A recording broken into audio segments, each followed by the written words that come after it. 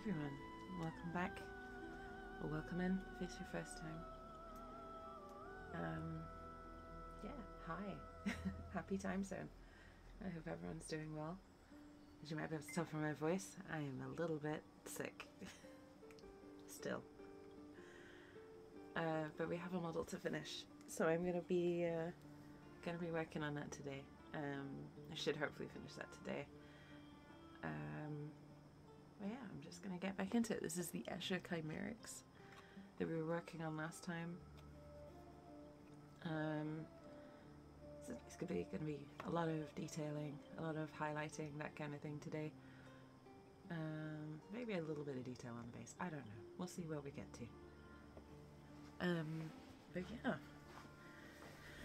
it's been. It feels like it's been ages. I know I always say this, but it always does feel like it's been ages. I want to stream more often, but the usual, you know. There's only 24 hours in a day, unfortunately.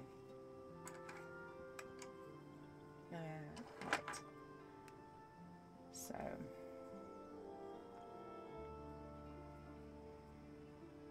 Just trying to reacquaint myself with this model that I've not touched for a week so that I, I can actually do decent job of painting it.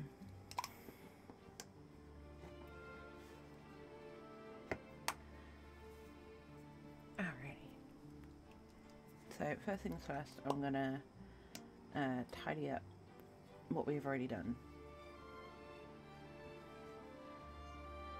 So there's going to be a couple of bits like uh, let's find detail around the mouth and all that sort of thing. Just tidying it up, um, making sure any details I've missed are covered and sorted out. And then we'll move on to highlights and all that jazz. The tidying up step is important because, firstly, it helps me get my focus back into painting, which is always good. It's kind of like a nice little warm up thing. Uh, but also, just makes the model look better at the end.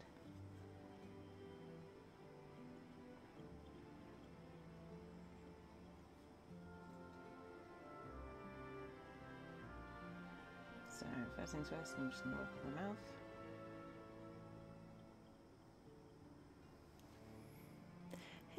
Ozzy! Welcome in. I hope you're well. You're the first one in. you're the first one in, as far as I know. It's good to see you. I hope you're keeping well. I am very, very, very tired and a little bit sick, I think. Maybe. Hopefully not, but... I miss, I miss streaming and I miss painting. So, I'm here.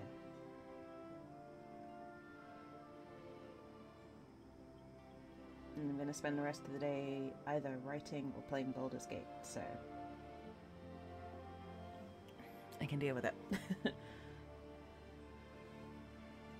I hope you're well. I hope you've recovered from uh, from PAX. I hope you have. Oh no, wait, you went at PAX. Sorry. I hope you've had a good weekend or a good week. Oh.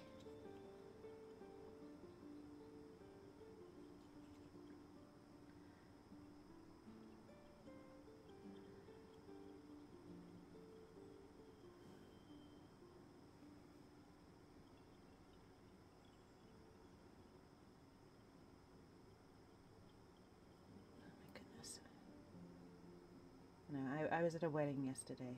Um, you may have seen there was a steam train at the wedding, and I think some of that steam laced with coal found its way into my lungs. Cause, uh, ow, my lungs hurt today.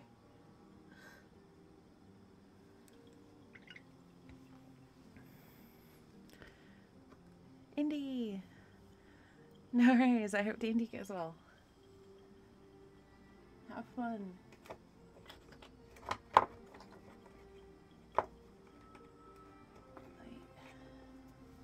It's also gotten super, super cold uh, over the past like 24 hours. It it's gone from about you know, 15 ish degrees to 4.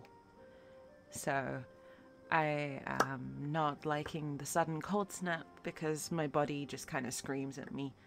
uh, your body's a bit sore from gym and you mowed your yard yesterday. Nice.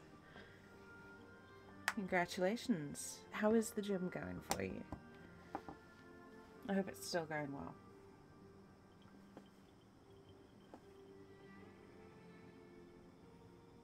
I remember you saying that you were you were kicking butt at the gym. I'm not gonna lie, I was listening to Sam Béart, who plays Karlach in Baldur's Gate. I was listening to them talk about uh, being a gym inspiration. 100%. Karlach is my new gym inspiration. So thank you, Larian, for giving me that. Because I needed something like that. In a new PV. Oh my gosh. 12 hours at 340 in uh, indie. Oh my god. I'm I can't read today. I'm sorry. Ozzy, that's incredible. Leg days are a pain, but you're making such good progress, Ozzy. That is insane. I'm so proud of you. Like, genuinely. Like, I don't mean that to sound condescending or anything, but I'm so damn proud of you. Because that is awesome. Genuinely incredible. Also, genuinely makes me want to try and match it. I want to try and match it with you. Like it, it's making me want to go to the gym and work out and be as good. So thank you as well for giving me that motivation.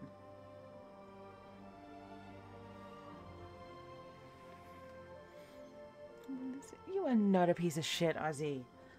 Don't you dare say that about my friend. Don't you bloody dare. You're awesome.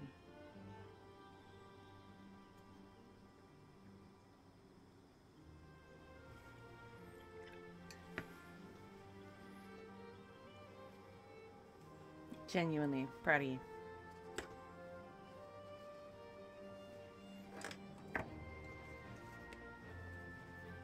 I'm I'm very very happy for you, Ozzy. I hope the gym continues to serve you well.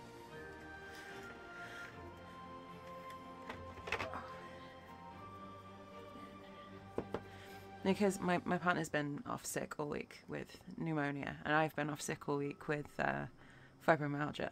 so I'm just sat here, and everything is a mess, and I'm we're both tired and bleh. so if I sound a bit worn out, is it's been a long week. Try not to get emotional. Hey, you're allowed to be proud of your progress along the way, Ozzy. And you deserve to be proud of your progress.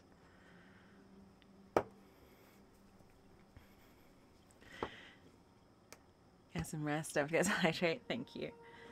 Promise I am staying well hydrated and yeah, we're, we're both okay. We're both just taking it easy.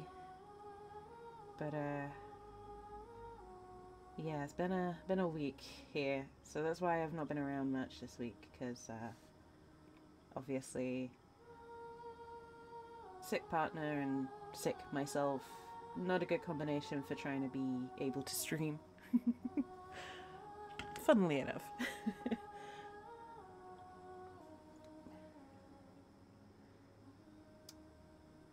I'm hoping I can get back to streaming next week because I missed it. I missed streaming. I missed chatting. As excuse me, excuse me. My voice is already giving up today. Um, I miss chatting and spending time with everyone.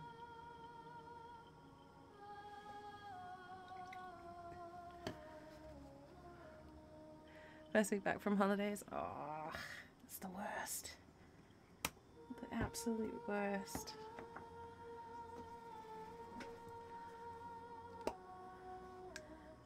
Yeah, I'm I'm already dreading having to go back to work soon. I might end up with another week off. I've got to talk to the doctors tomorrow and see what they say. But um yeah, it I hate that that first day or two back after you've been away for a while. Always rough. No one ever wants to do that.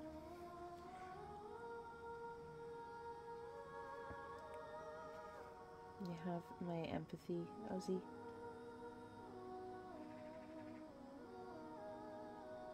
But I hope work in general is going well for you, even if it's a bit, bit rough at the moment.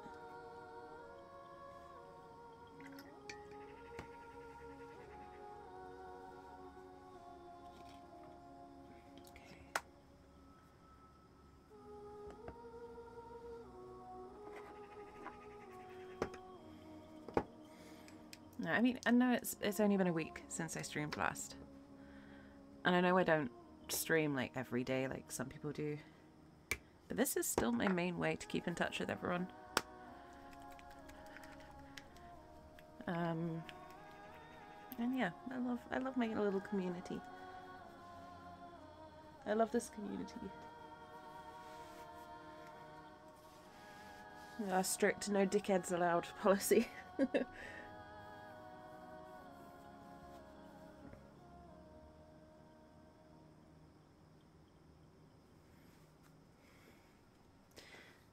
In good news, my uh, my tattoo is almost healed already.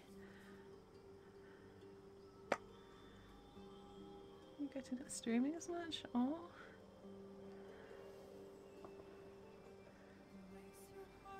Hey, Ozzy, you're always welcome here. Always and forever. You are one of the people that encouraged me to do this in the first place. There is never going to be a time when you're not welcome. Um, and yeah, like streaming. Confidence with streaming is a funny thing because I still don't really have that much confidence. But I don't. it's funny, I don't really see these streams as streams, if that makes sense. I see them as me doing something while talking to a bunch of my friends. So, like, it kind of is weird like my brain disconnects the whole this is a stream that's going out on Twitch and it's going to be uploaded to YouTube thing. And it's just more like, hey, I'm going to sit here and paint and like there's a chat that I can talk to full of lovely people that I I know and get on with. Just probably indica- indicative of how few few new people find the stream and that I don't think many new people find these streams. And I'm fine with that because I like who we've got here.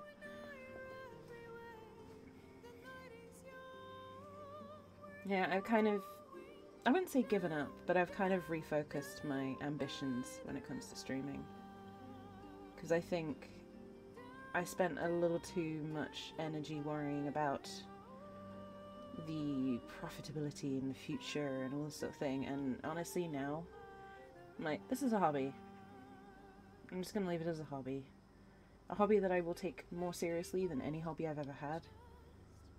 But honestly, I don't think I'm cut out to be a full time streamer. At least not alongside regular work. And I've got passions and things that can lead me elsewhere. I'm going to focus on the writing. Because uh, the the feeling that I get when I am writing is unlike anything I have ever experienced. And it took a long time for me to work out that that is what I needed. So, so the I will say streams are not going to change. I'm just not going to worry about growing as a streamer. It just takes the pressure off. Um, Scorpion just subscribed. 31 months now. How are you doing, Jinxie? Oh my god. 31 months? That does it. That's that's a lot of months. Hey. hey, Yannick, welcome in. And thank you for the codes, by the way. I'm sorry I didn't reply to your message earlier.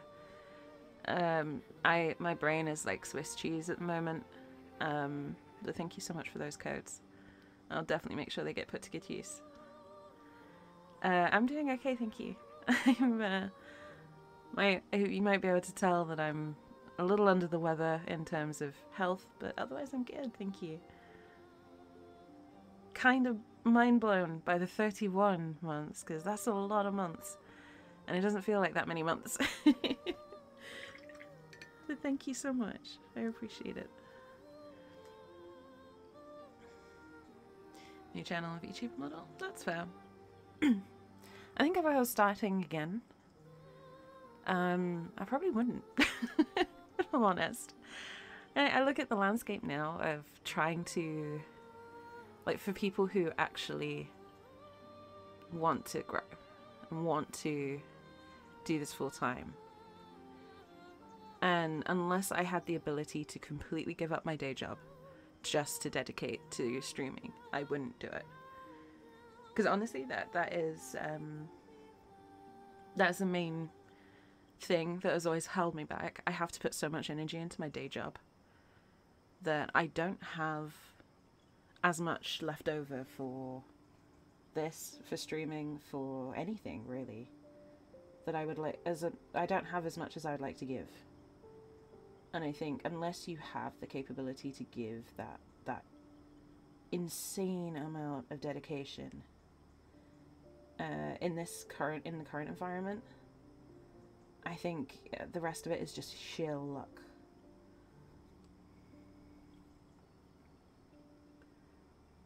Um, so yeah. Kind of sad in a way, but at the same time, it's kind of freed me from putting so much pressure on myself to do well at this game, at this whole content creation shtick, because it was taking away the enjoyment of streaming for me. And if the opportunity arises to go full time, I'm not going to turn it down, but I'm not going to pursue it as the end goal for streaming anymore.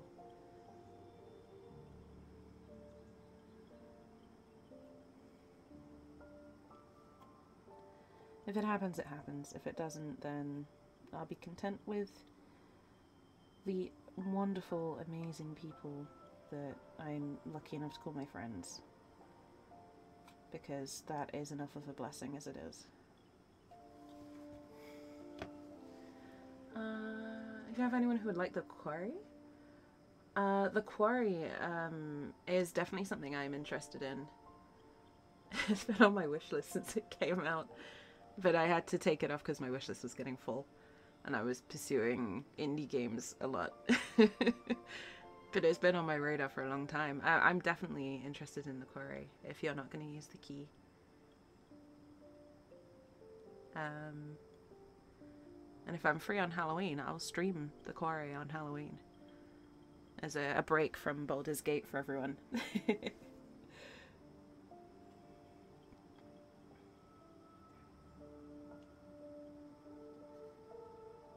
Because currently it's it's either going to be a horror game or it's going to be Dark Urge time on the channel for Halloween. No, the, the Quarry is a great game. I've I've watched a few people play bits of it.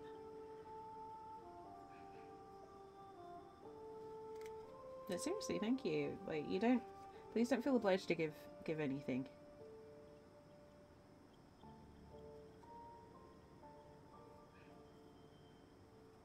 If it's not gonna be used.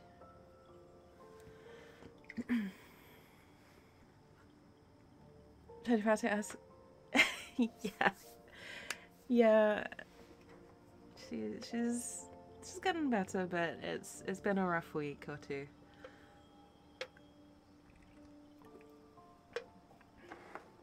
That's why I'm also trying not to get too loud. Because uh, my partner's asleep. and I want to wake her up.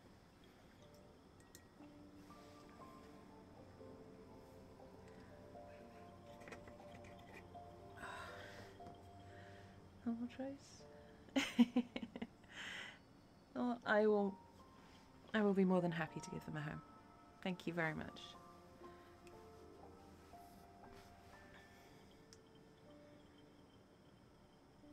And if I can't use them, thank you. I just got the message. And if I can't put them to good use, I will make sure they find a good home. But I will probably, I will almost certainly use the quarry because I've, I've wanted to play that game for a good long while.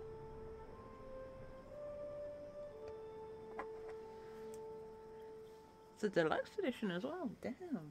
Thank you. Yeah, I'm spoiled. Thank you so much.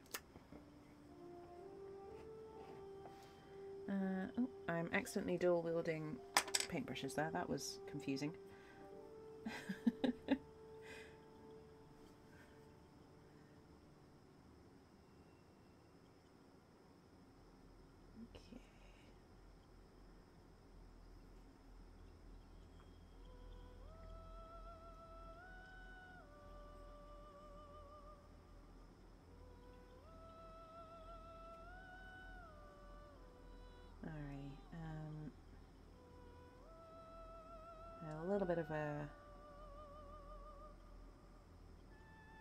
challenge mode here. I'm just adding some muscle definition in on the uh, Khimerix because I wasn't really happy with how it was looking. So the Khimerix is going to the gym. And I'm hoping it doesn't look too weird when it settles.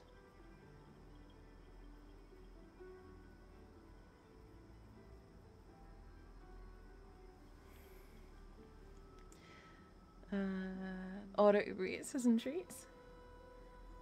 Uh, if you feel the need for treats, Ozzy, I fully endorse that.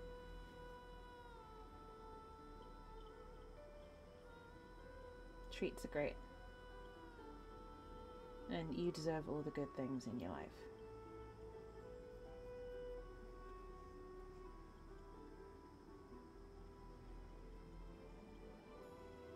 But I would also say, games count as treats. And there is a wonderful game waiting for you to start playing. Because I am going to encourage as many people as I can to play Baldur's Gate.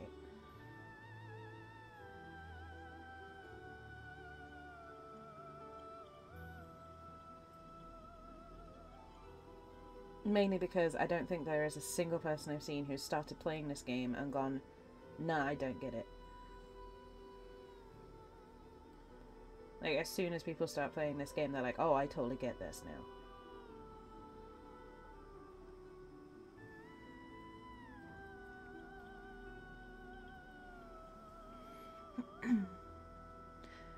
uh, ooh, Death Rewind, Go Fast, Visual Filter Pack. Oh.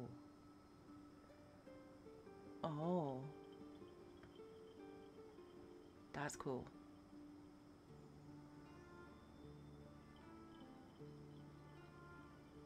I look forward to checking it out then.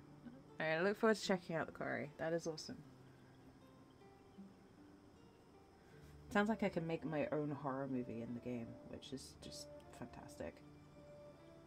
What a concept as well, like using cutscenes and features in a game to make your own movie. I wonder if anyone's actually attempted that. Maybe not cutscenes, but you know what I mean.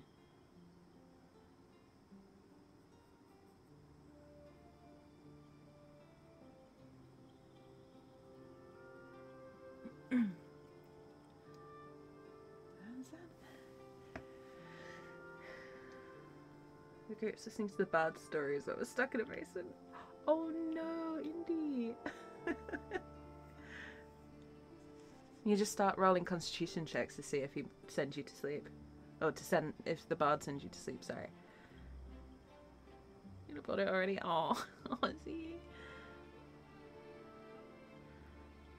I can't wait for you. I, I just can't wait for you to start playing because I, I just want to see your reaction. I want you to fully appreciate how good this game is. ooh, 80s throwback character outfits. And film, ooh, film green, VHS aesthetic, or black, black and white. Oh, that is cool.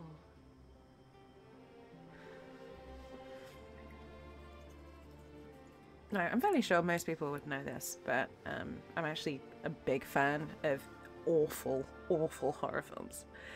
Like, I like the good ones too, the really crappy B movie that takes itself too seriously but is so bad you can't stop laughing at it.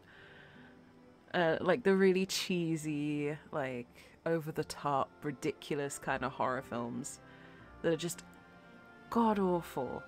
Honest to God, terrible films in every which way. I, I just have such a soft spot for them. And I don't, I'm not going to explain it because I couldn't, but I love terrible horror films so much. Um, mainly because I just, I'm so desensitized to horror as well. Um, yeah, I was reading Stephen King at 10 years old. so I think that kind of ruined me for horror in general. Um, but I love terrible horror films. I love horror as a genre. Almost as much as I love, you know, high fantasy, but not quite as much. I've had to pick. So that that sounds great, and I, I'm genuinely excited to get my teeth into the, the quarry. Okay, Ozzy. I will say, by all means, stream it if you want to if you are playing Baldur's Gate for the first time, I wholeheartedly recommend just playing it. Don't worry about streaming it. Don't let chat or any random wandering in distract you from this game. The only reason I'm streaming Baldur's Gate now is because I've got a playthrough under my belt. So I, I've got one version of this story that I was able to enjoy without distraction, without anyone trying to tell me how to play it without any spoilers or anything like that. Now, I, I thoroughly recommend just having a go through it on your own. Even if you do like a side by side, so you have a stream playthrough and a non stream playthrough, but just genuinely give yourself a chance to really enjoy this game because it the game deserves it and you deserve it too.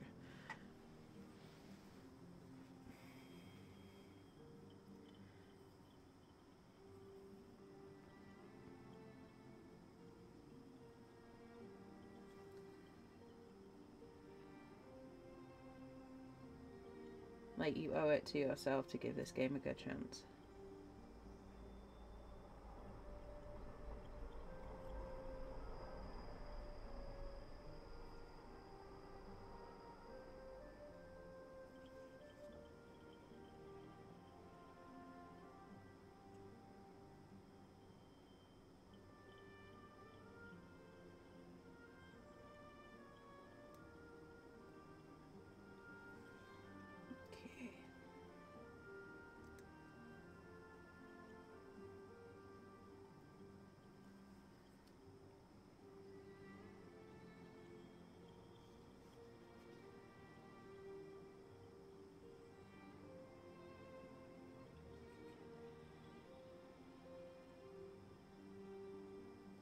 I don't normally get this riled up about games, but Baldur's Gate is a special case.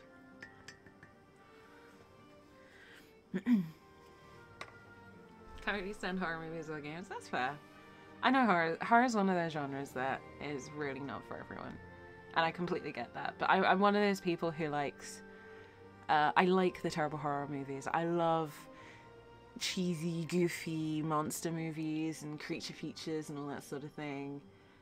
Um, but I, I also love like the really intense uh, psychology that you see in horrors, like even stuff like Saw, which I would argue is yes, it falls into the horror genre, but it's not a hor- horrific film. It's just gory. But I love the psychology of the traps and things like that. So, you know, I get into horror.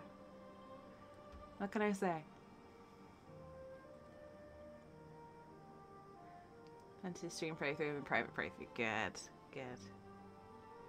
I get that. I've got like a dozen different playthroughs, all with wildly different backgrounds and styles to them, and I'm still not bored. I, I I'm still finding things that are brand new and surprising and just yeah. The, this game has my whole heart.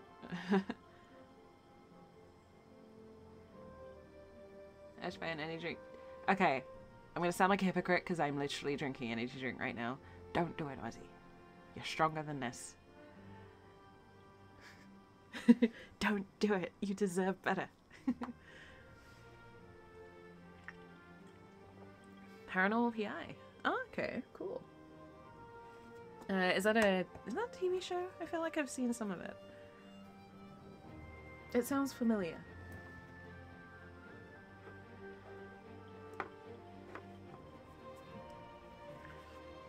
It's a game. yeah, I'm starting my day.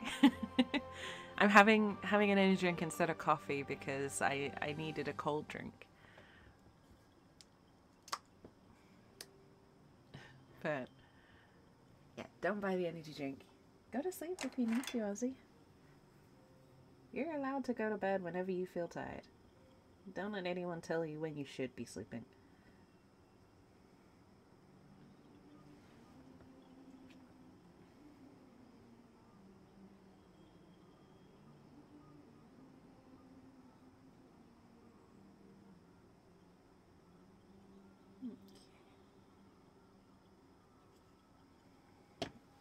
Oh, it's a game.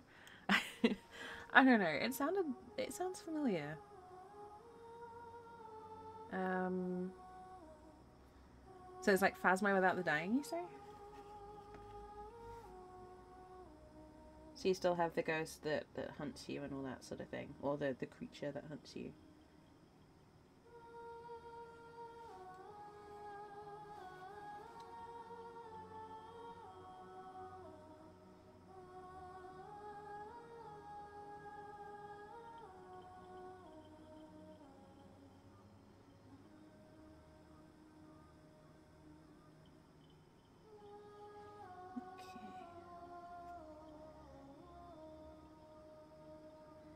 Repainting the face on this guy a little bit because it, it looked quite messy and I didn't like how it was turning out.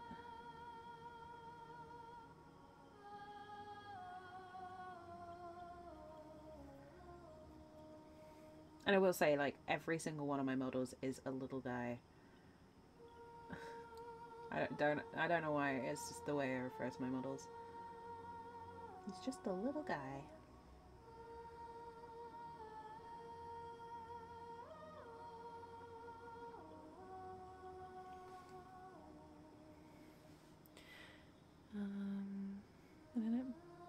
Fair enough.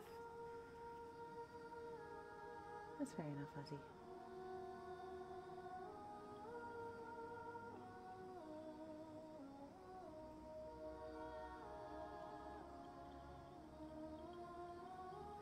Now, one of the things I do want to watch is uh, completely different.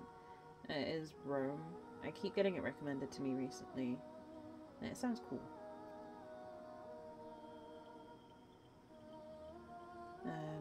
But trying to find it on streaming platforms is a pain in the butt.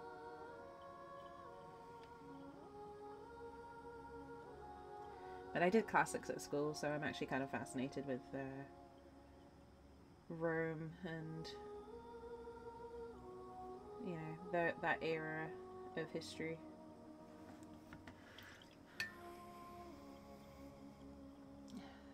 See it goes. Try and find the relics to release them. Oh, that's cool. Demons will attack you, and the ghosts keep him from being released. That's really cool. So yeah, like you said, it's kind of like Phasmo with with a couple of extra steps. Not to talk down to the game at all, because it does sound genuinely quite fun. But obviously, for the sake of comparison,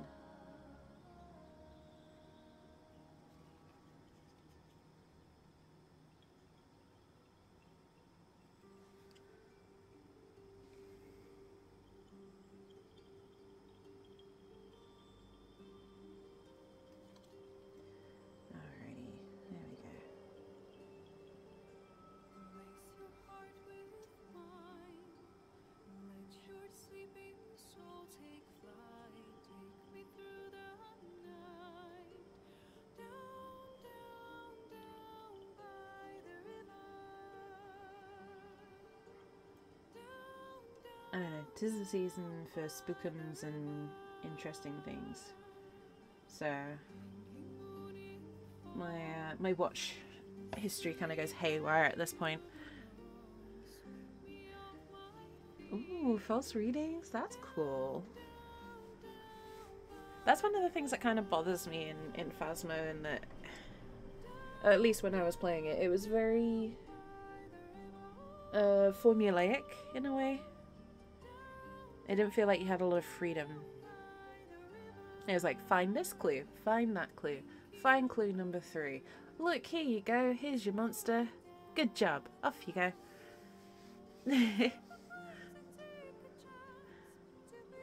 Gonna get snacks? No worries, Ozzy. Take it easy. Drive safe. Um, I hope you find some tasty snacks.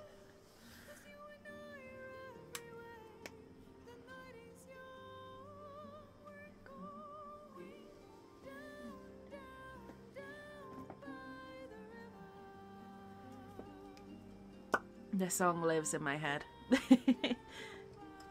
I love this song. I think anyone who's played Baldur's Gate also has the same problem. It's the best kind of problem to have, though. Oh no, I have a really friggin' good song stuck in my head. Whatever will I do? Guess I'll have to keep listening to it.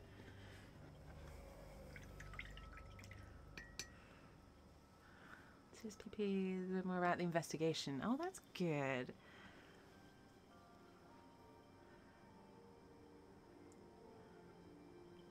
Four different types of ghosts which you can differentiate. That sounds good. I like I like the idea of that.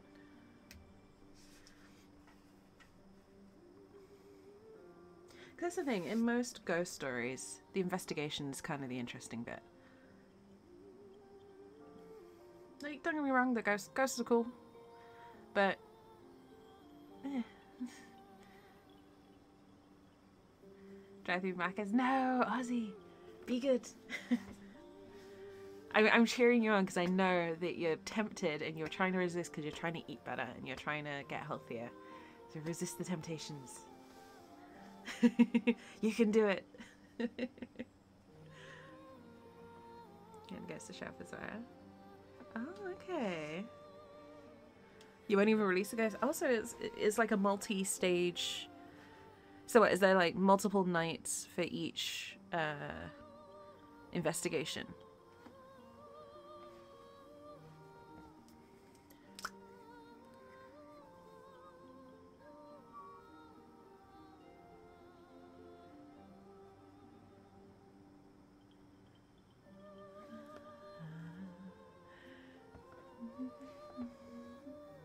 No, treat well. Uh uh treat yourself then. Go for it. Yeah, you know I'm teasing. You know that no matter what you want to do, you do it. You know yourself better than anyone. You know your goals and your capabilities. Thessian just subscribed. Ahoy. Jesus. Hi, welcome in. 74 bloody months. Genuinely a bit speechless at that. Holy crap, thank you so much. That is insane. Thank you. Well, welcome in. I hope you're well. Maybe you're recovering.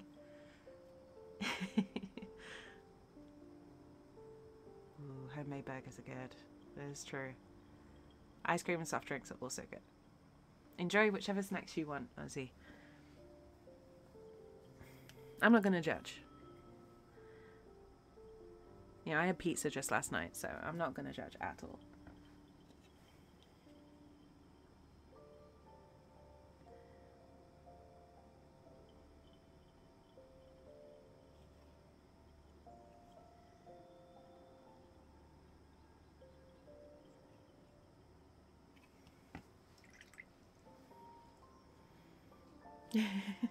Back. No worries, Ozzy. Take it easy.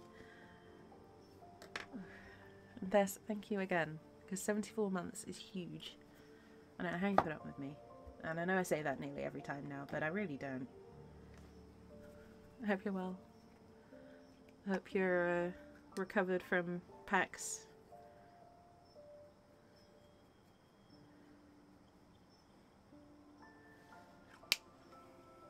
We need to catch up. I know it's my fault. I've been hermiting too much. And I need to reinstall seven days and we can have a catch up.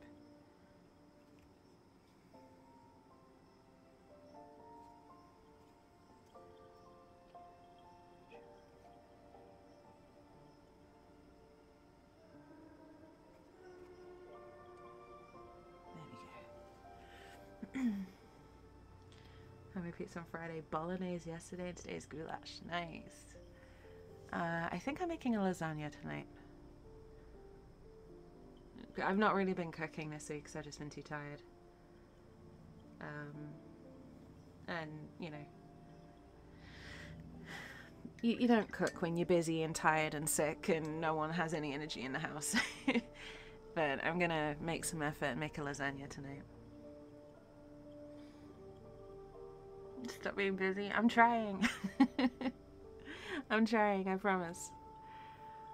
I'm probably going to end up being off work next week. Um, so at least I'll be around.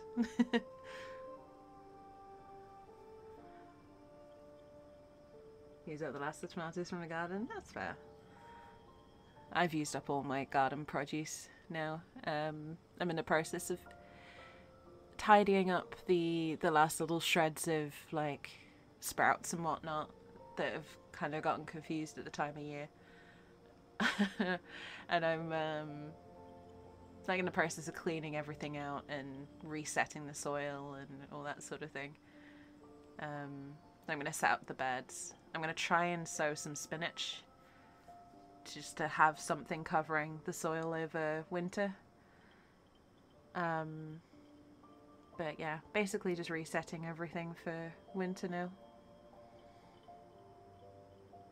I mean, I think up until yesterday, I still had some tomatoes on the vine, like two little cherry tomatoes on the vine.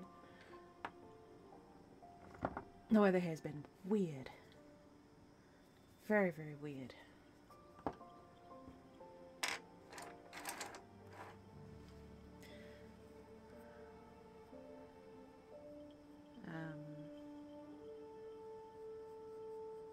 But yeah, I've enjoyed uh, growing stuff. I've enjoyed growing stuff uh, for the first time. I think I've learned a lot this year because this is my first year properly trying it out. I've learned what works and what doesn't with my little patch. So I'll be able to uh, do a bit better next year. With some uh, more consistent harvests and all that sort of thing.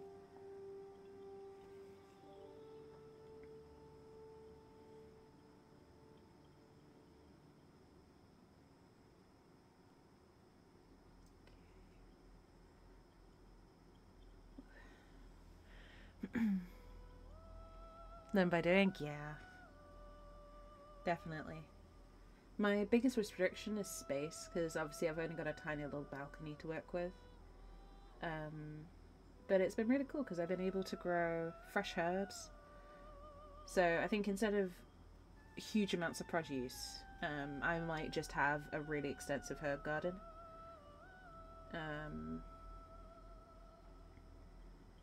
and then just a few things like salad leaves or uh, beetroots or something like that. Like really simple veggies out there. But I've got a whole rack of um, individual pots that I think I'm just going to fill out with herbs because I've got already got stuff like lavender, thyme, rosemary, all that sort of thing. But I want to get some more um, interesting herbs. Um, some like harder to get hold of herbs. I'm going to try growing those from scratch and then just have two trays of like salad leaves or like I said, simple foods that I, I'll just use every day but not trying to grow much variety in terms of veg. And try and focus on the herbs instead because they're they're kind of more interesting to me.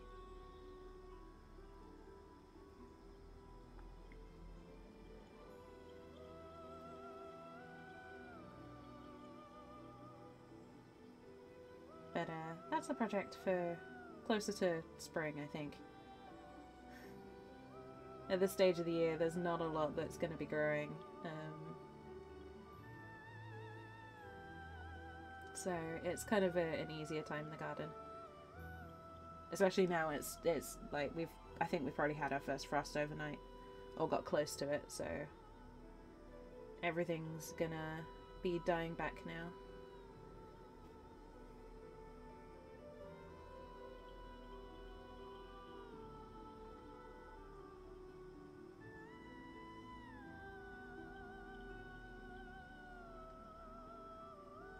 It's fine, you know, natural order of things. Everything has their season.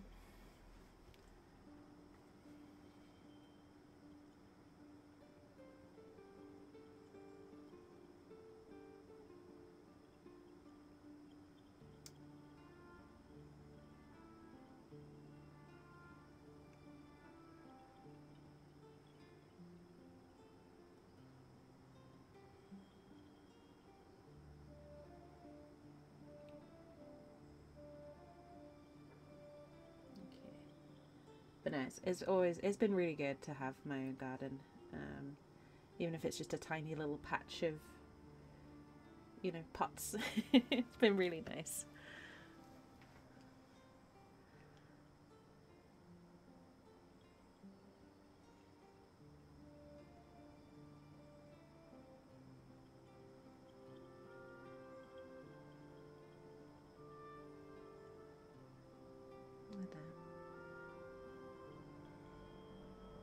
Anyone else got any plans, anything they're working on at the moment they're looking forward to or excited about?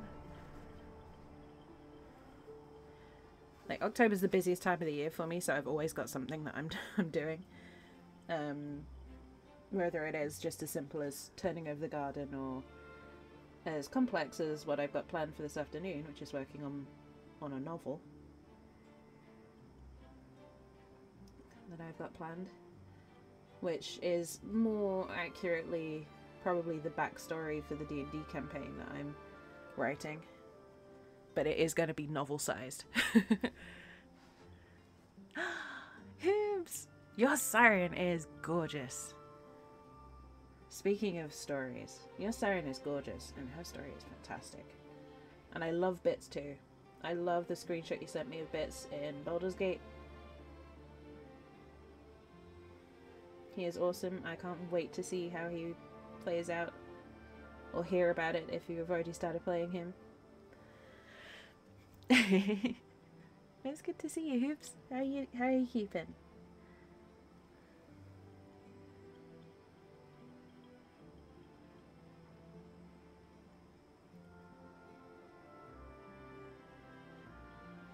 It's funny. I literally just said, uh, just started talking about the D and D campaign that I literally will be writing this afternoon, or at least starting to write this afternoon. And it's like it summoned you. It's awesome.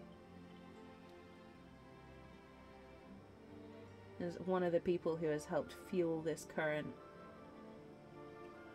I don't want to call it an obsession because it's always been a thing, but this current motivation to write.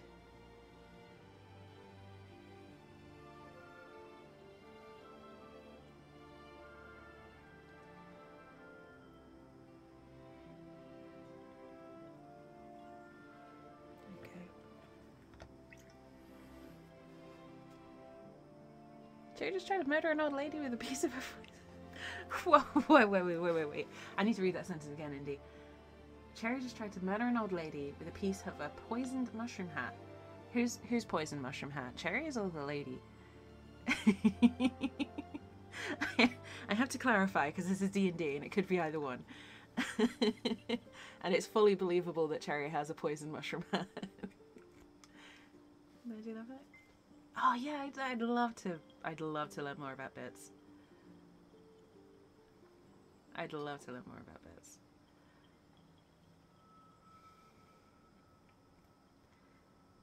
But I, I might, um, with your permission, obviously, have uh, have Siren make a cameo in the story that I'm writing.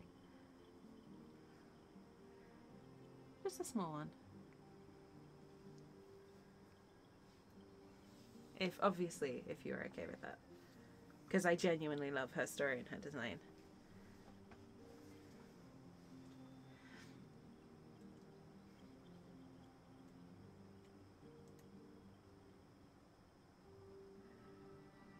Um, two books in your head and then a siren. Yeah, I've got one that I'm working on, um, which is kind of a hybrid of the backstory to the campaign that I want to write and also just a full blown two book series in its own right. And then I've got a secondary one that is um, more dystopian, sci fi ish. Um, but again, kind of more more young adult dystopian sci-fi. Think like Hunger Games kind of area of fiction. Um, and then I've got like a series of flash fictions that I write. And that's just before all the Baldur's Gate 3 related stuff that I write as well, just because I need to get some of this out of my brain before it explodes. but I got a series of flash fictions which are kind of they're purely just for my own my own enjoyment and they're kind of like uh, letters I'll never send you know um, and it's, it's a series of uh, one or two page letters to various elements and forces and people that you encounter in life. And they're, they're ridiculously highly personal and basically therapy. Um, but it's it's something I've been working on and it's it's just so good. House of Mushroom Addict adopted daughter halfling druid who enjoys mushrooms that is cool Indy that is very cool I love that as concept yes uh, it's the stuff about Astra in the theatre that I would really love to um, reference. It, it wouldn't be a full blown like story about Siren. It, it would be they encounter her and the theatre and some of the characters there. Um, just like I said, I love her concept and I love her design. So my favorite for D and D revolves around Siren and another bounty hunter brother loves the shadow. That is awesome. My brother was also enslaved by Hell's family. Oh my goodness. That'd be so cool though. That'd be so cool. That is such a cool idea for um for you and your group to play through as well there.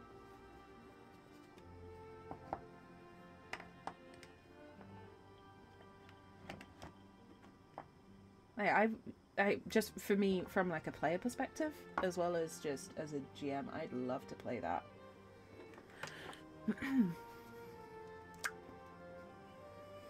That's the sort of thing I love including, and it's part of the reason why I love people who come up with. Um, maybe not like full blown novels of backstory, but enough backstory that you can put hooks like that into your campaign. Because um, yeah, some of the most rewarding interactions and encounters come out of it.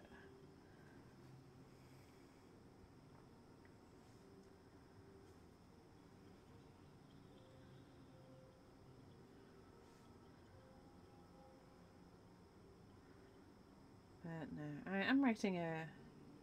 It's not the story concept is not groundbreaking. It's it's a done concept but the way I'm doing it, I'm hoping is a little more unique. Um, and the the characters that I'm using to tell the story, uh, at least in this book, I'm hoping make it a different take.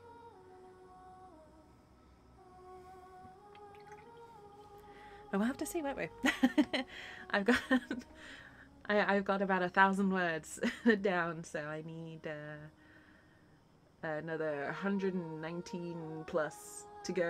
119,000 plus to go. the black scroll that only knows who can bear the mark and open it. That's it takes to Shadowfell. Ooh. Change me just. Oh wow. Oh, that is so cool.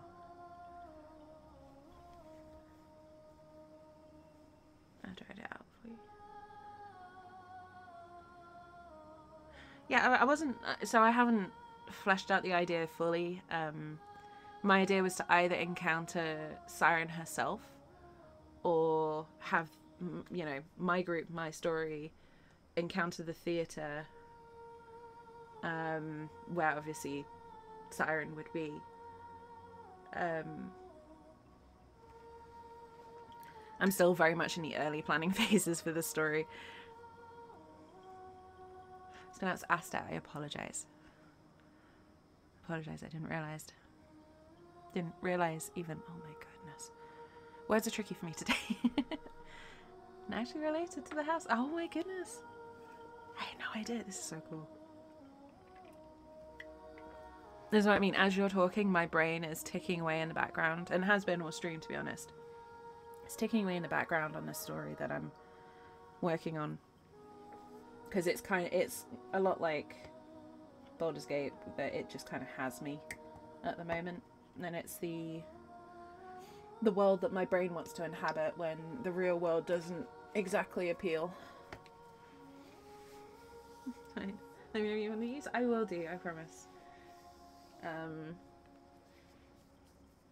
but yeah, I've got the. Uh, I blame the uh, D and D World Builders Journal for uh, kind of kicking me off into this story's realm. Because the story concept does take place in a, a world very similar to Faerun. Um, just with a couple of twists, because, of course, there's a twist. Tyron is very young. Yeah. It it's partly that youth that is why the uh, the theatre would be the best place for this group to encounter her. And without giving too much away because they're not very well fleshed out yet. Um, but these characters are all going to be quite um, world weary in their own ways. Um, so to have that kind of a, a brush with someone who is so very young and so like and has all these things going on even as young as she is. Yeah yeah. 84 is still very very young. Um, and i think having that brush with someone so young would have an impact on at least two of the. I've got about four main characters, and they, they've all got different perspectives, but at least two of them. Um, one of them is a full blown elf, so that in itself would kind of. Um, you know, kind of trigger some things in this this very embittered, world weary um, elf just to encounter another elf, another elf who's so young and so uh, kind of out in the sharp end of things. Uh, I, I don't know yet, Hooves. I don't know. Um, like I said, I haven't really fleshed it out uh, yet. It was something I was playing with earlier of just more more specifically the one character that I've got in mind to meet her because you know, it is this elf that has been hidden away from the world and very um, scornful of the wider world and the wider communities, and just very much like, I, you know, the world can burn, but then is kind of dragged out because of circumstances and encounters this very, very young, very both vulnerable and powerful elf. and it's just this this kind of oh yeah it, she would almost be a mirror to this older older elf that I'm I'm developing at the moment. It's like this is what you could have been, but you decided to hide from the world. You could have been you could have brought something wonderful out because as much as Siren has her her problems, she also has a wonderful talent. you know, she brings joy to people by singing and and performing and that that that would some would definitely be something that would chime very strongly with this this character that I'm developing at the moment. There's a long way to go. There's a long, long way to go. Uh, the World Builders Journal is uh, a full year's worth of writing prompts. I think if you haven't already used it, Hoops, I think you'd enjoy it.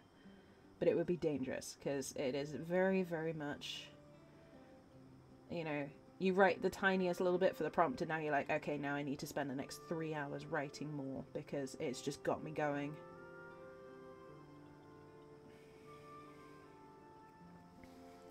But yes, yes, we definitely do need to to have a, a writing writing chat. That would be really cool.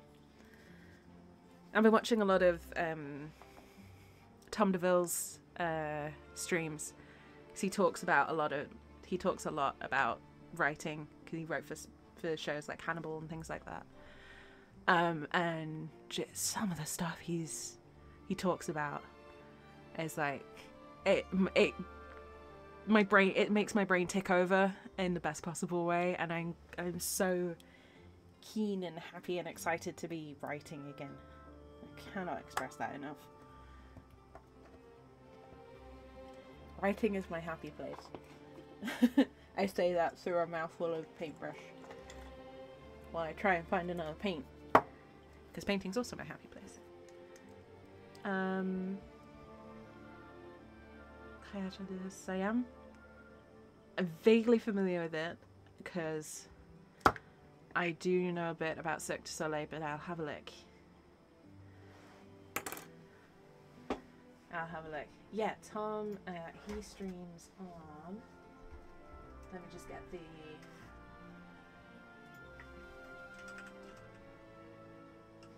He streams over on this.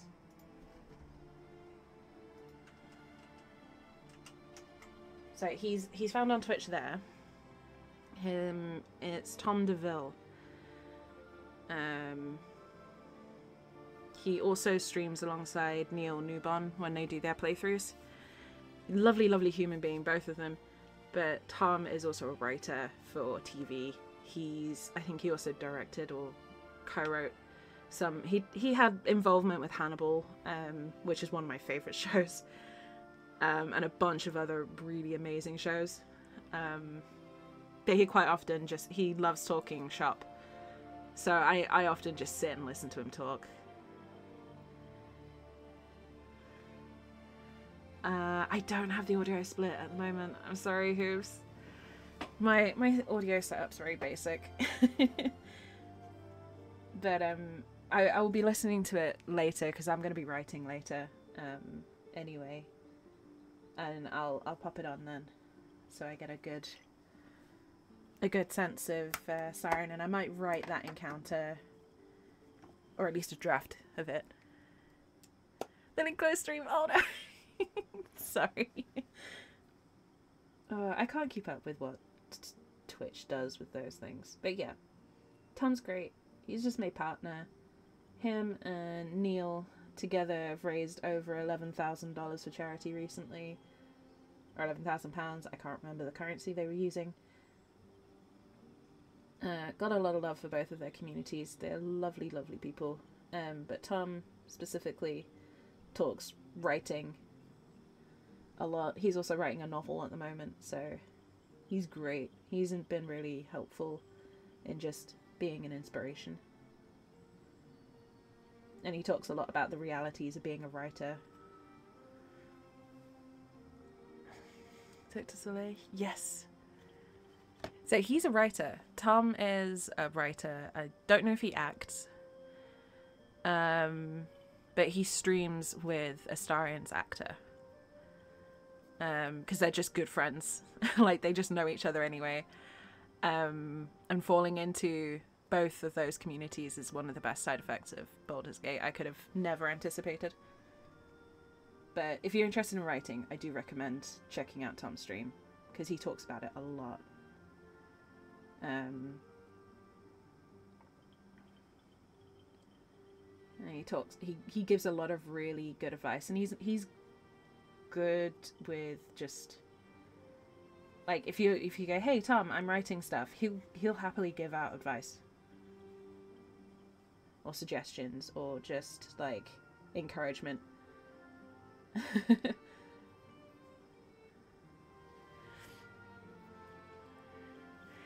Off a stream from raffling his stream night, writing some of his D and D story. That'd be cool. Uh, I don't know if I'm quite ready to be um, publicly sharing my writing yet. I feel like I've got a lot to learn and relearn about the craft. Um, but obviously, one of the best ways to to learn is to start. So I feel like I'm just gonna I'm gonna start writing, and I'm doing a um, narrative design course at the moment as well as uh, going to be taking on some just straight creative writing training at some point. So just crafting.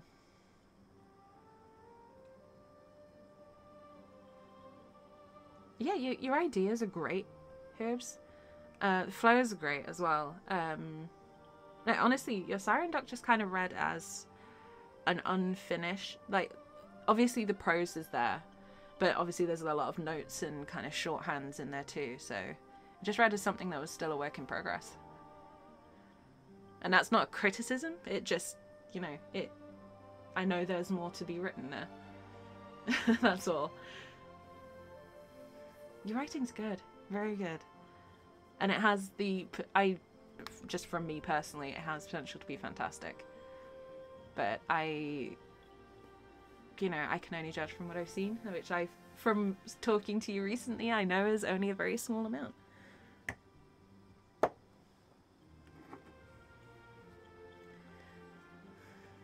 Ads. Oh my god, ads are the worst. Sorry. So yeah, it, it read as um, a work in progress, is what I was saying. So it obviously it didn't feel finished because I know it's not. I know you've got more to add to it. Repeat from there. I'm sorry. I'm sorry. I can't stop the ads. I wish I could. But yeah, it, it read as a work in progress. That's all. And it's not a criticism at all because unfinished work is never going to be as polished as something finished. Um, but what was there was really good, and the ideas were fantastic, and I wanted to read more of it. I wanted more of the story. And that's the best compliment I can give. Like, me wanting to read more is the best compliment I can give for writing.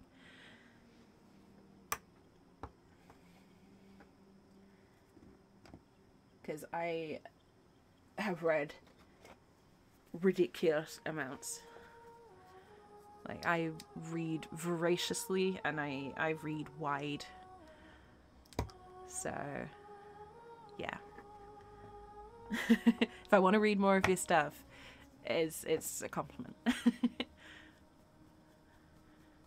I, I genuinely think you, you could be a very, very, very good writer, Hoops. I'd love to read more of your stuff. Two sugar-free drinks and an ice cream and a coffee. So Ozzy, have you ever had um, vanilla ice cream with coffee poured over it, specifically espresso? Because that is amazing.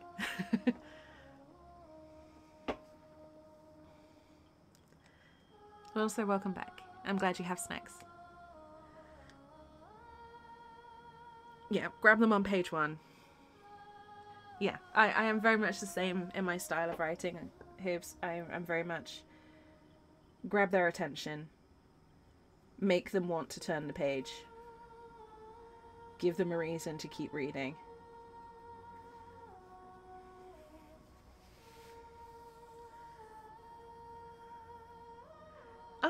Drink available at Aussie Mathcas. Fair enough. I actually had that first in Spain. Um, it's something that you can just get at like restaurants as a dessert. I think they called it affogato. I apologize if my accent's terrible.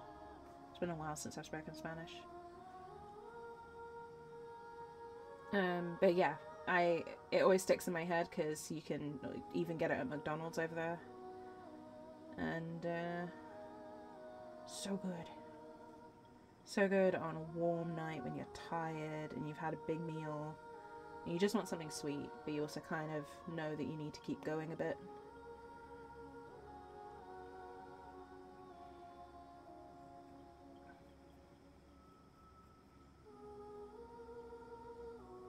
It's because you mentioned you had ice cream and coffee, and like, put those together, that's a good time.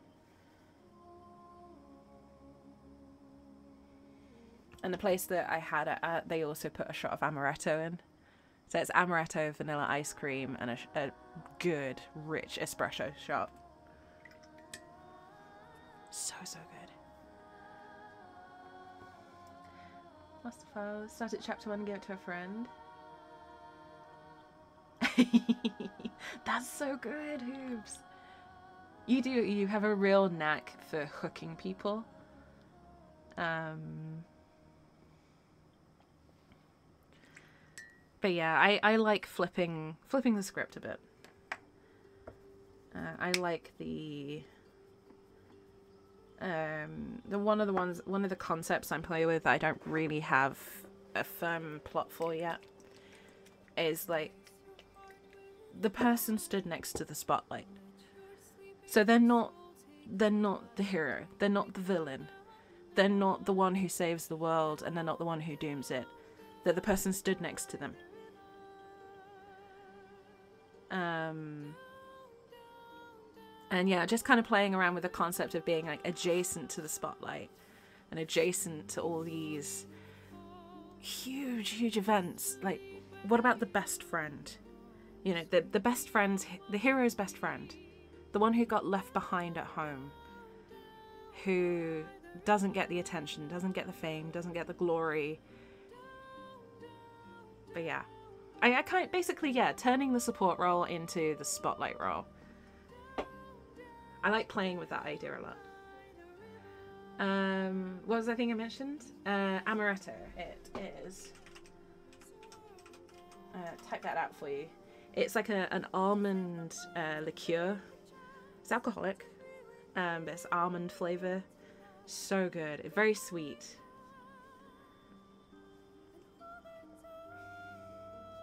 Um, but obviously works very well with vanilla and coffee as flavors, and it's mm, glorious. and it's kind of making me want one because I haven't had one in years. Yeah, support characters are important too. Without support characters, the whole thing falls over. but yeah, kind of like a celebration of support characters, but also just because. How often do you hear about that side of things? How often do you hear about the one who got left home? You know. Yeah, the heroes off doing hero things, but what about their family? You know, some of them don't have tragic family backstories. Some of them just have loving families waiting for them at home. Um, so yeah, I kind of want to want to play around with that idea, but I haven't got a good idea for the the rest of the world building yet. Giant undead satyr fight for next Sunday. Nice, Cindy, and welcome in. It sounded like you had a good session. It sounded fun. We're, we're kind of talking about like stories and food. Ozzy's got amazing snacks that's making us all hungry. I'm theoretically still painting this model. but I keep getting distracted by chat.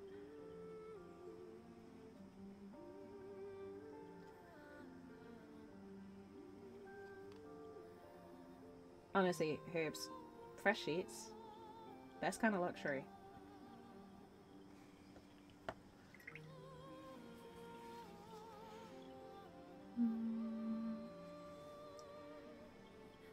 Did you like comment? And she first introduced Siren to her mask? Oh, is my net gone?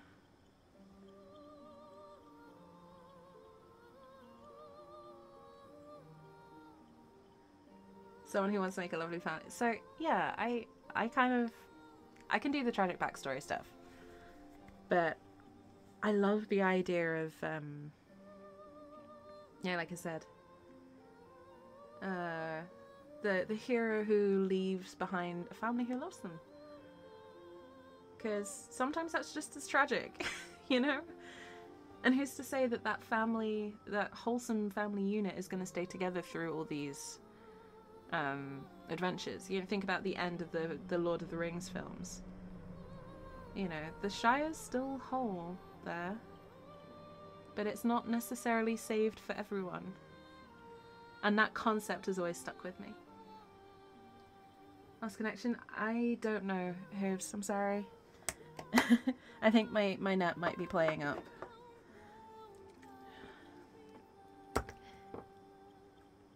Uh, the, the comment was interesting, Hoops. I I would need to go back and reread it to get the full context of it again because I my brain is full of holes. But it it is um it felt like kind of foreshadowing maybe? I'm not sure. Like i said i need to go back and reread it because i'm i'm foggy today. So this is just going off of a very unreliable memory right now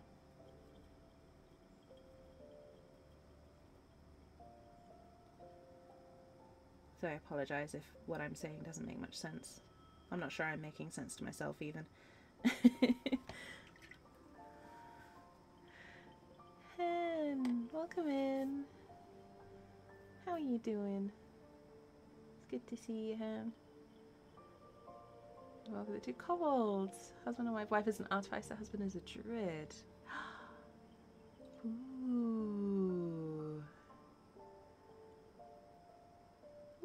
That's so cool. Hey, if you want any uh, tips from someone who you literally used to do backstage for theatre, um, assuming you don't need, assuming you need them at all, feel free to let me know. Because I love theatre. I'm actually potentially going to be going back into working at the theatre, which I'm really excited about. Because I missed it. I apologise for causing a small earthquake there. But yeah, I actually used to work in theatre, so let me know. uh, fun session? Nice. And you can continue Dark Run, Dark Urge Run even better. Whereabouts are you at with your Dark Urge Run, Indy? Which act? Just being conscious of spoilers, obviously.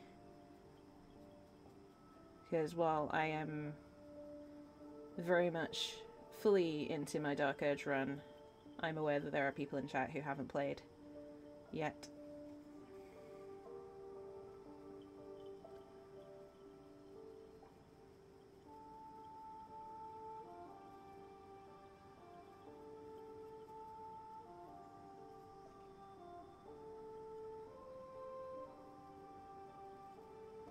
oh, you had a migraine yesterday? I'm sorry, Anne. I hope you feel better now. Uh, I'm okay, thank you, Hen. I'm exhausted. uh, and I say that not to be dramatic, but just because, uh, you know, that dang sickness. Uh, but otherwise, I'm good, thank you. Having fun, painting, talking about my writing and Hoobs' writing, and just being generally having a good time things.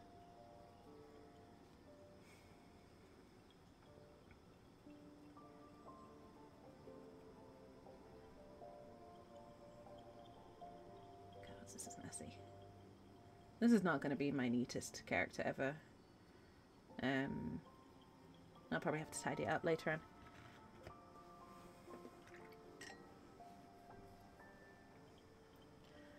Um, Oh, the lovely people. Yes, definitely. I, I will. I need to get some rest before I'll be functional for uh, any sort of world building. Um. The oh story idea for Siren, Siren and the Kobolds tribal dance. Oh, that's so cute. Oh, that would be so sweet. I love that. Anisa's got just thank you. thank you. It's funny. Um Lise is my, my Dark Urge character, for anyone who isn't aware. Um the one that keeps popping up on my social media because I'm slightly obsessed with them. They were initially going to be the one character that I actually did the evil thing with. And I tried very, very hard to stick to it, but I made a couple of tactical decisions with it. Um, I didn't let any of the companions die because I wanted, I was basically trying to go for the worst possible outcomes um, for everyone. So yeah, I, I didn't want to, I didn't get Minthara because I didn't want to um, lose Karlach and Will, and I couldn't work out how to make that work. Um, I don't know if it is possible to get Minthara without losing, at the very least, Will. I imagine it's theoretically possible. But yeah, I wanted to have Halsin um, for just tactical reasons. Um, but yeah, at least at least managed to, to have Karlach and Will and save the Grove, but in the worst possible way. it was like we saved the Grove, but at what cost? Because jeez, um, but like near enough everything was is not good. It, it was going bad and it was dark. Um, and then Act Two came along and towards the end of Act 2, there are a couple of scenes with certain companions, and I'm being deliberately vague. Um, but I'm all about the story in this game. So the story kind of changed uh, very late on in Act 2. And there are some scenes with some companions where afterwards there was no narrative justification for my character to continue being evil other than spite. Um. Uh, no, sorry, Hooves. If there is, if it's there, I'm gonna try for it. um, but thank you for the offer. Maybe DM me if you want to. Uh, just not in chat because I know there are some people who haven't played and I might spoil quite a lot for them. But yeah, for for Lise, my Dark Urge, my main Dark Urge, I should say. Act 2 kind of changed, and now it's a very late game redemption. Which is so cool because I never saw it coming. And it also gifted me a scene that is going to haunt me for the rest of my life. Um, which involves my Dark Urge character and a certain vampire who they were romancing. And if you've played the Dark Urge past past the end of Act Two uh, on a redeeming run. You will probably know which one I'm talking about, and if not, I'm not going to say it in chat. But that scene broke me in like the best possible way. And Hoops, you probably know because I think you've probably played through it. Um, but yeah, just that scene alone kind of flipped my character and it flipped my perspective a lot on things. Uh, on a personal level. And just after that it's like the the kind of trying to pull together the pieces of who they are and try and build some something good out of what they've got. Haven't done Durge yet. Oh, it's it's mm, it's a good story. I fully fully recommend Dark Urge once you've completed the main game because the story rewards are massive. So that one leveling. That's fair. No, I um I have one Lise who's my late stage Dark Urge Redemption, and then I have another one, Nox, who yeah i have a weakness for three letter names in this game don't ask me why uh, nox who is just evil and you know she's got no karlach she's got no will, she's got Minthara, but like near enough everyone else is dead. And they they are not gonna repent. this is gonna be a full committal to I am going to make the world burn um character. Um I will say Dark Urge Assassin is rewarding. If for no other reason than it feels like the class they had in mind. But yeah. My evil evil is hard. it's I I'm my my true evil the true evil run that I'm doing. It's hard and it's kind of depressing. I'll be honest. It's kind of depressing because you walk into camp and it's like, there's not even the owlbear. I didn't even get the owlbear cub. That's how evil I've gone.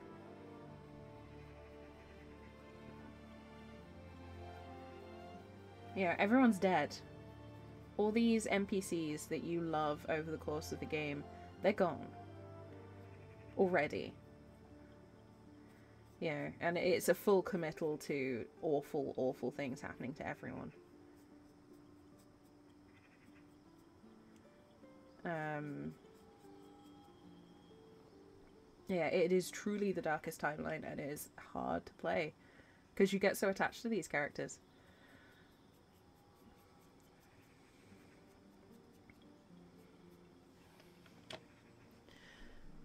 Uh,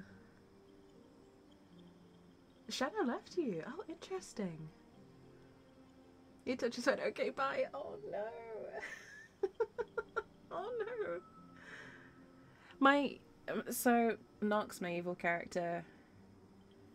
Um, I'm not sure about power hungry necessarily. They they are power hungry, but I think it's also they are just genuinely.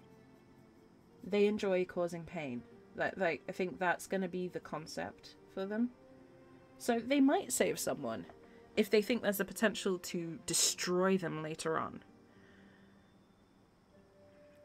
So it's it's that capricious evil that I'm kind of playing with. The very like, yeah, why did you do this? Oh, because I felt like it.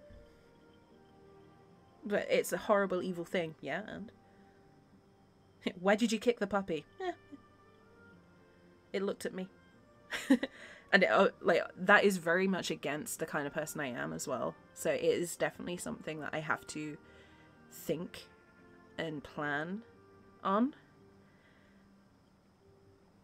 but yeah, Nox is just evil for for the sake of it. Like they they've never had someone to tell them not to be because they, you know, there's nothing in their skull except murder, and a tadpole. And they're just like, like, why should I care about anyone else but myself? And I I can already see potential for this to kind of crack open like an egg. But I'm I'm rolling with it and seeing where it goes. I'm just I'm trying to get the bad outcomes because as much as I hate it, I also want to see those sides of the story.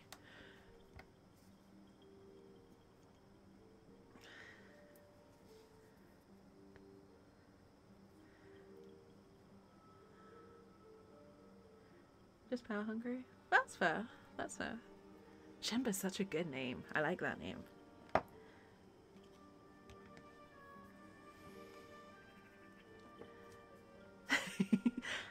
I think I know what you mean, Hoops. Which is probably a testament to how obsessed I am with this game. no, I haven't gotten far enough into the game for Shadowheart to really care, but I can already kind of see the hints of the uh, not good outcome. She's not going to leave, but there is an outcome that is going to have massive ramifications that is already kind of starting to emerge. if you know, you know. Yeah. Yeah.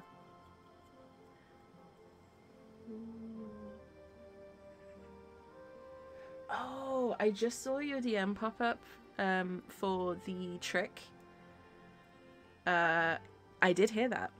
I'm not sure if it's a bug. Very similar to the sheep trick.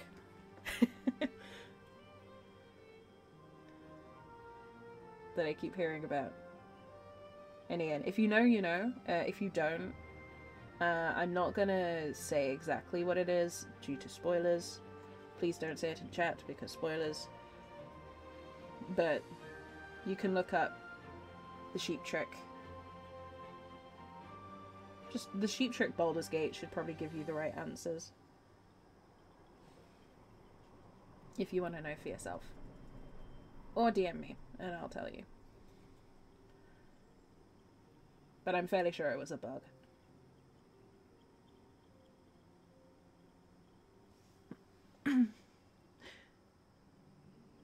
Sheep, as in uh, the animal.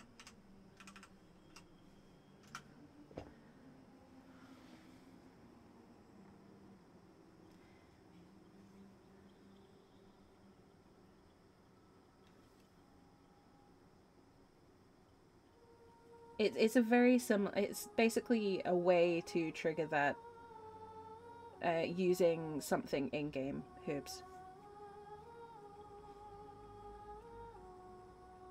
I don't know if they patched it already or not, but yeah, it's pretty hilarious.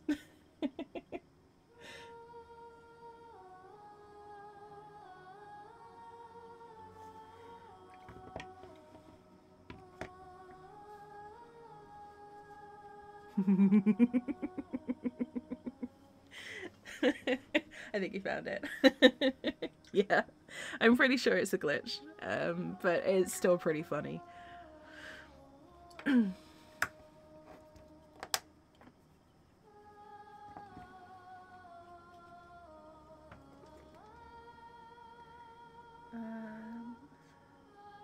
oh, ignore my piles of shame. I need to find a particular paint that's getting hidden. That may or may not have been some unassembled Tyranids. oh yeah, I know. I know exactly which one that is, Hoops. And because I know who it belongs to, I don't mind.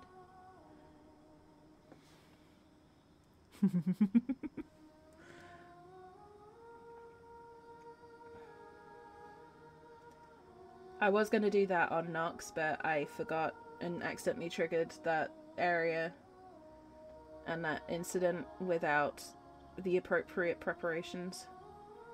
I just decided to roll with it in the end. I'll do it at some point.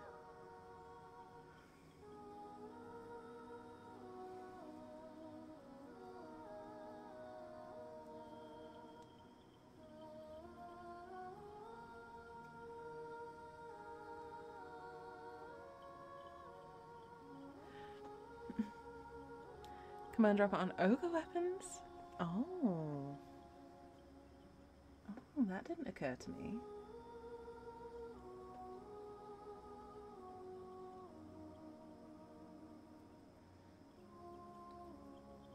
That's pretty cool. Command drop is a suspiciously powerful spell. I'm not gonna lie. Like, I think it's something that's not always necessarily appreciated just how strong it is.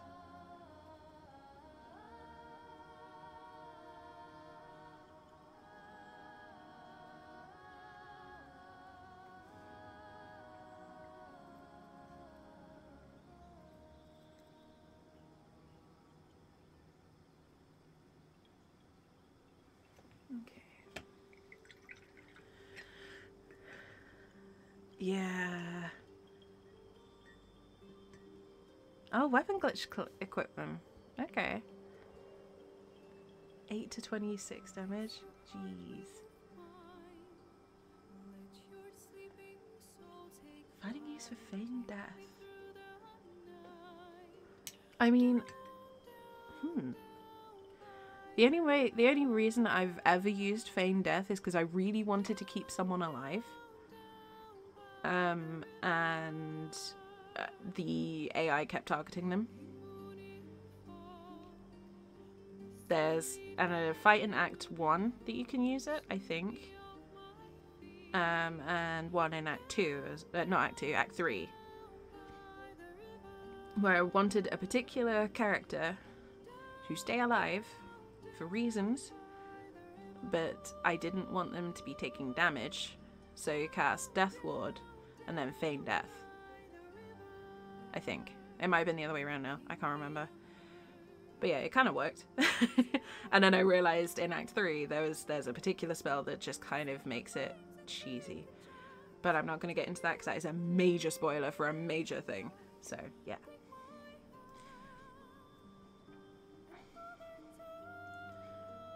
And then you can take their stuff. Oh, yeah, that too. You can take people's stuff when they're pretending to be dead. You could also throw potions at sleep. Tactician has that in basically every fight. I've not played Tactician yet. oh, damn breaks. Getting in the way.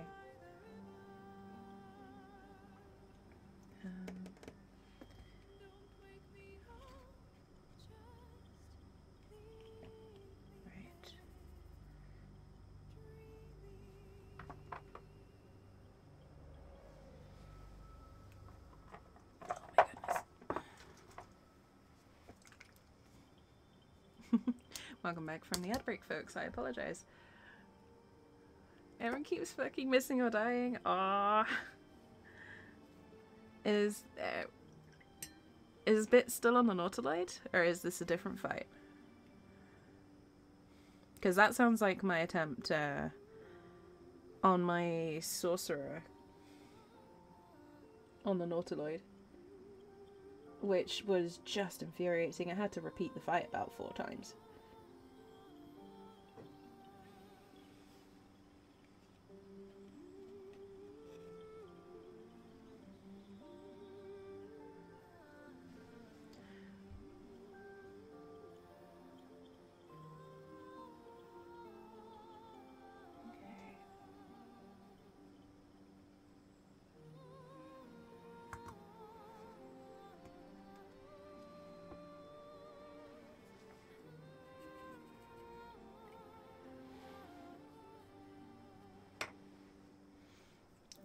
I'm sorry. I try. I'm trying not to say anything important during ads.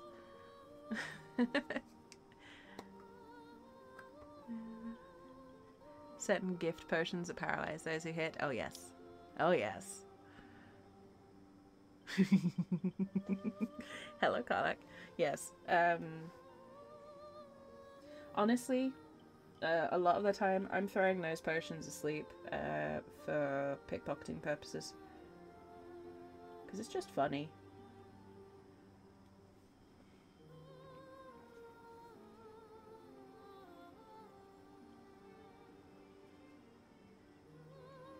Like, being an assassin rogue, you obviously get quite a lot of sneak. And uh, with being high dex as well, sleight of hand's pretty, pretty nuts. Um, obviously, it's not as good as if I was a straight up thief, but it's pretty up there. And it's not exactly a challenge to pickpocket anyone at the moment. I imagine it will get harder once uh, we reach Act 3, but at the moment it is laughably easy, so I'm just finding all these weird and wonderful ways to annoy people while I do it.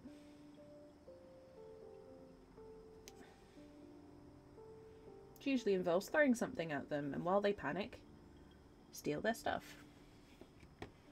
Because a lot of my characters are very morally corrupted. Dark Urge or not.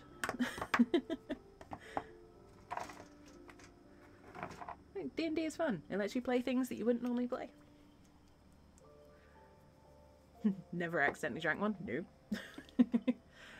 Not a certain suspicious health potion. I mean, hmm. oh yeah, yeah. Disguise self or fog cloud is great. But for me, well, okay, for my characters, part of the fun is the potential to get caught. So I don't disguise unless it's something that I'm actually trying to steal for a purpose. If it's just stealing because money, I don't disguise because it's funnier. And I try not to use stuff that blinds because again, it's kind of kind of similar effect to disguising. Like I if I get caught, I want them to see my face. And if I don't get caught, I want them to see my face laughing at them. Basically. That's the the in-game justification. I just like the challenge, me personally. It's a game, you know, consequences.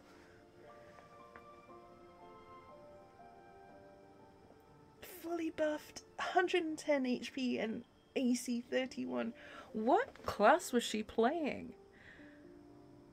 What class was she at? I imagine a rogue, but jeez, that is a lot for a rogue. Or did she multi in the end?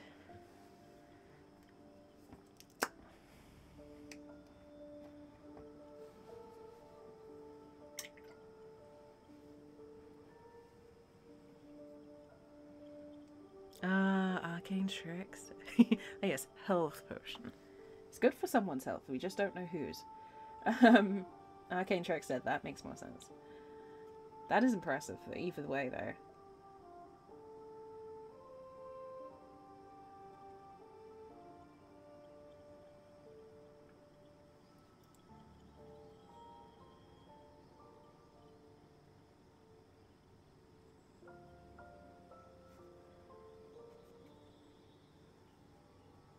Mean, I think my first playthrough only like Karlach got that sort of cracked the 100 plus because Lae'zel unfortunately did not get as much of an opportunity to develop in my first playthrough.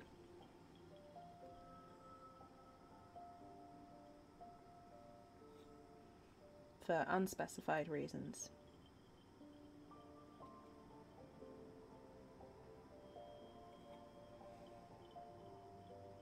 Plus, my first playthrough, I didn't think things through as much as I wanted to. Or I should have done. So, this one, people are getting better gear, and better outcomes. Gale, Shadow, Karlach, all at 100 or 100 plus? Damn. Yeah, the bone. I missed the bone spike on my first playthrough. I mean, I still did it because my warlock was ridiculous at that point.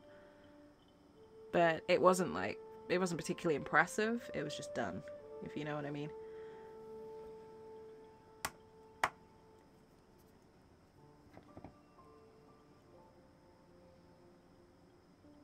Yeah, I'm doing better this time around. Having two assassin rogues in your party is a good way to clear up fights quickly it's kind of embarrassing. like, I'm just sat here like this is this is silly. Like there's the, there's no way. Like narratively it makes perfect sense, but mechanically it's silly.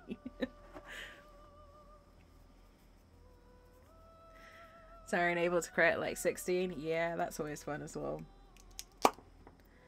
That is always, always fun. Low, lowered crit scores are great. And they are so strong in Baldur's Gate.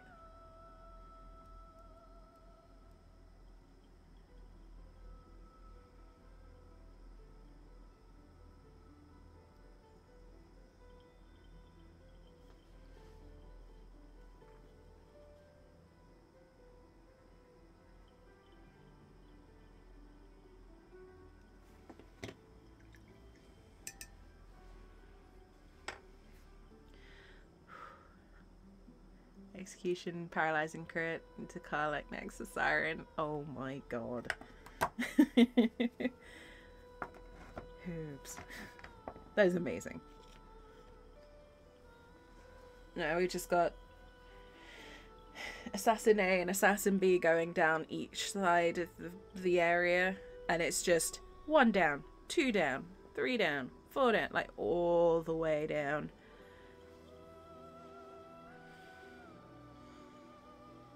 Big mob fights just turn into fun. it's great. um, six, level six spell charges are also great. I do know the tower, yes. Yeah, I assumed you meant Act 3 tower. What D&D subclass would I like? To... Uh, so D&D class and subclass, Circle of the Moon Druid. I want a shapeshift. Easy. I want a shapeshift, Ozzy. So, Druid, and then give me all the shapeshifting. Give me all of the wild shapes.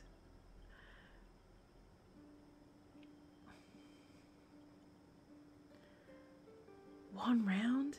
Damn. Nice. That's awesome, Hoops. That is awesome. Karlach's amazing. Karlach is my my inspiration for how I want to be as a person.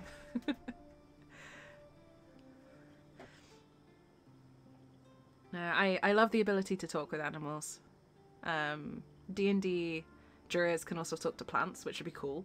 Just because the idea of that is so abstract that I just I would love to try that. Um, and yeah, just the idea of being a real like all the wild shaping would be great. And just being, you know, at one with nature is is great. I love that idea. So yeah, I'd be a druid. Or if I had to pick a different one, uh, Death Domain Cleric, because Caduceus Clay is another inspiration. so it would just be Caduceus Part 2. Mama K is amazing. We, we love Mama K here. Uh, Sapphic coded non-binary icon Sam Béart as well is also fucking phenomenal. Um, no, no, Ma- Mama K. Um, yeah, she's great. Aw, I'm glad she helped you with that, Hoops. For me, it's like, um, I, I've always admired and looked up to more um, muscular women, and I've wanted wanted that for myself, but never really had the confidence because it's like, well, yeah, I don't know, and then just just seeing how much everyone loves Karlach, and just how she deals with her story as well. I don't know. Yes, I need I need to embody that more. Then Grave? Oh, he might be Grave actually. I can't remember. But yeah, I'd basically just want to be Caduceus. I, I like the at one with nature kind of vibe that a lot of them.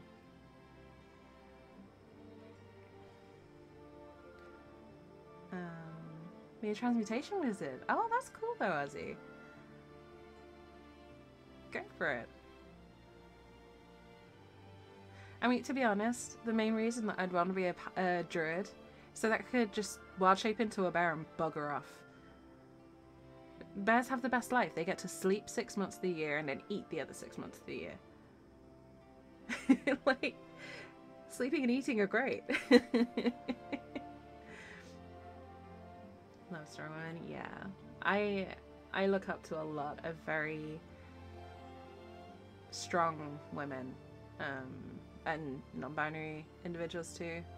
Very strong femme presenting people, I should say it that way. It's more inclusive.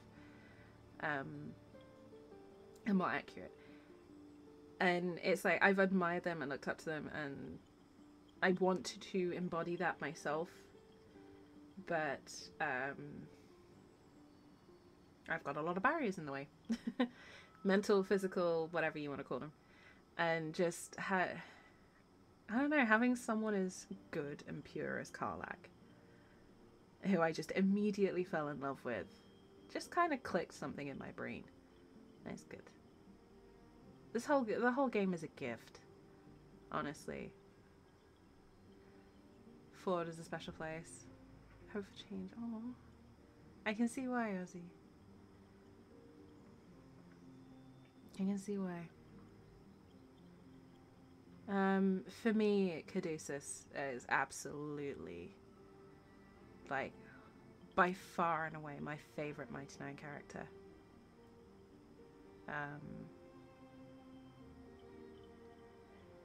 it's just the the like I can't describe it. I don't know. It just something clicked. I love Caddy. I hope he's there at the live show. I missed him in the other reunion. Don't get me wrong. I like who was there instead. But my boy, I missed him. And the Blooming Grove just sounds beautiful.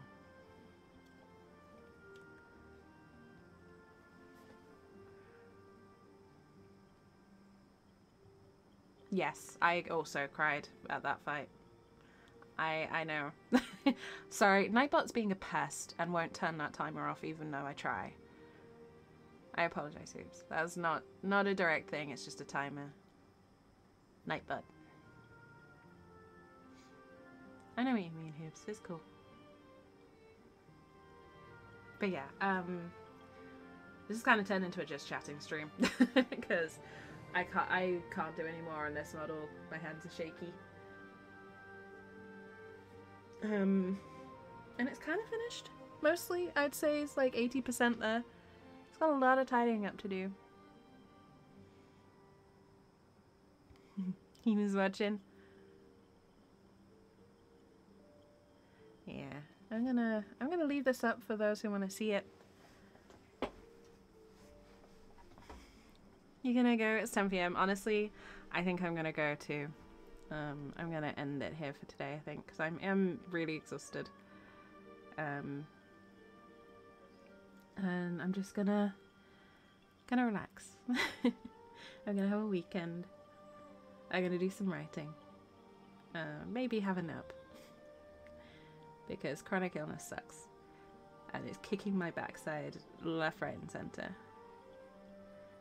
Uh, I don't think I saw the Hero 4 tubes but uh, feel free to send it. I don't know. I can't remember. I'll check. I'll look back in Discord, and I'll check. But thank you, and thank you everyone for stopping in. Um, the resubs, the likes, everything.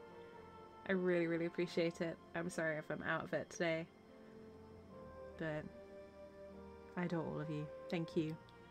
Thank you for being amazing. Um, I'm hoping I'll be back mostly back to normal next week. Um, I'll check it out, hoops. Thank you. Um, but yeah, I'm I'm hoping I'll be back up to normal next week. But thank you all very much for bearing with me. Thank you for keeping me company. I hope you all have a wonderful day or night wherever you are in the world. Um, take care of yourselves. Stay safe, and I will see you all very soon. Bye for now, folks.